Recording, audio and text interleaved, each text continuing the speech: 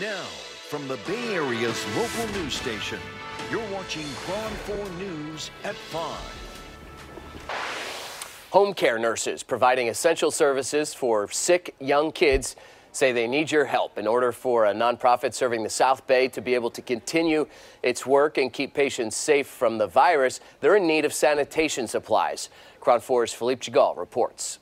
Without the constant care from Coastal Kids Home Care, 15 month old Haven Smith would be back in a hospital. The last place his mother Amanda says he should be, where he could potentially be exposed to germs. At this time, if Haven goes in the hospital, it could mean his life. So um, it, it really is a life or death situation for our nurses to stay in our homes. Haven is considered a micro preemie weighing less than a pound at birth. Coastal Kids is billed as the only nonprofit pediatric home health agency in the state. And Amanda says it's critical during this emergency due to the novel coronavirus or COVID 19 that the nurses providing services have the proper sanitation equipment and gear they need. We're stuck in our home and it's really scary right now.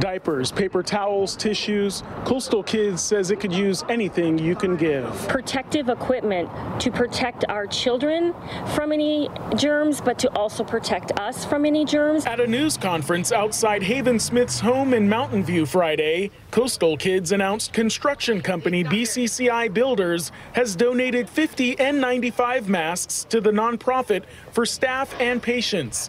Masks the company already had that would otherwise go unused since the business has paused operations for the next few weeks. Making sure that the healthcare providers have the materials that they need is priority number one. BCCI has also donated 250 N95 masks to Kaiser Permanente and encourages others to donate to organizations like Coastal Kids continuing to work through this difficult time.